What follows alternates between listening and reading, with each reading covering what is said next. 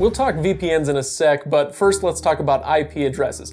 If you're a little fuzzy on what exactly an IP address is, go do a Google search for what is my IP and you'll see a bunch of numbers pop up. That's your IP address. And it tells every app, every site, everyone in the world basically where you're accessing the internet from, geographically, I mean. In fact, think of it like a physical address that pinpoints which house on which street you live in. Now, a VPN, a virtual private network, changes the IP address that's shown to those same apps and sites that you visit. So, if you're in Memphis and you use a VPN, you can make it look like you're in New Orleans or Spokane or whatever.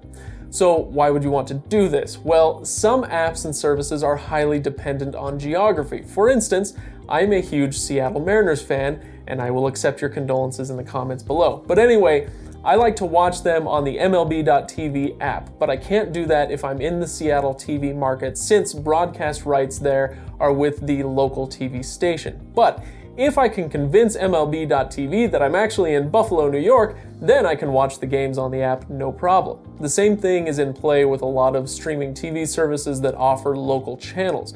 You're a Denver native living in New York City and you want to watch your favorite local Denver stations on Hulu Live, a VPN will let you do that.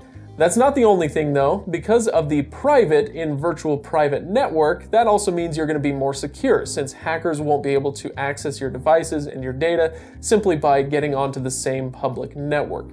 So, how do VPNs do all this? I'm sure it's all very complex and that I don't understand any of it, so as far as I'm concerned, it's magic.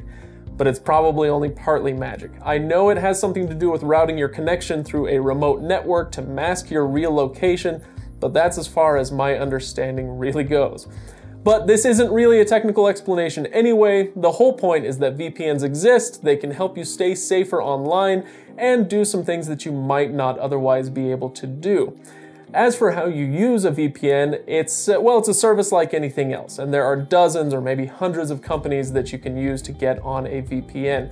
I won't go into any detail here, maybe in a future video, uh, but there is a list I like of a few top VPN providers from our friends at cutcabletoday.com, and I'll link to that report in the uh, description below. Bottom line, you'll probably spend between 3 and 10 bucks a month for a VPN service, depending on your needs. One last thing, this can all sound extremely shady to somebody who's unfamiliar with VPNs, but it is in fact 100% legal, so nobody's gonna come bust down your door if you decide you want to sign up with a VPN service. Anyway, let me know if you have any other questions. Uh, head to the comments below, and of course, be sure to like and subscribe on your way. Thanks for watching, everybody, and we'll see you for the next video.